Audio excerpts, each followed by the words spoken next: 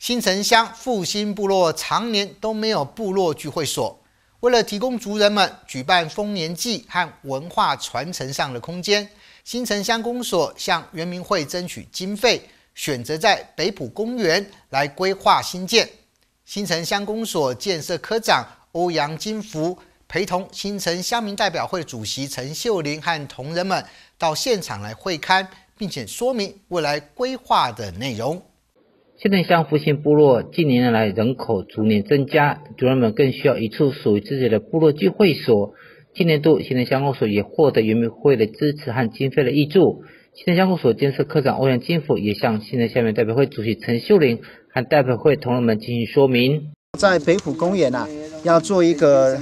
聚会所，啊，叫复兴部落聚会所。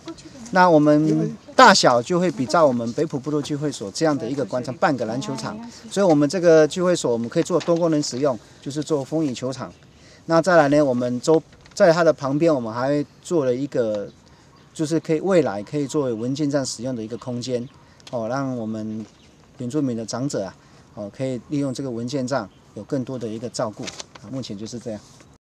现在下面代表会主席陈秀玲表示，相当的开心，公所争取了这项重大建设，代表会会全力支持通过这项预算来满足部落的需求。建站的哈要开发，我们是乐观其成，因为可以提供我们乡民更多的一个多元化的使用空间，然后也不用风吹日晒雨淋，对乡亲来说是一大的福利。我们真的很希望说可以赶快争取到经费，然后也请我们的田的呃葛代表跟田代表哈，能够帮我们向原民会来争取这个部分的经费，然后我们全体代表都是相当支持的。复兴部落聚会所所选择的地点就是在北浦公园，属于新人乡公所的财产，在新建上并没有太大的问题。除了新建部落聚会所之外，还有增设文件站的相关硬体设施，希望把空间能够足足的利用到，来满足地方的需求。记者钟颖新闻报道。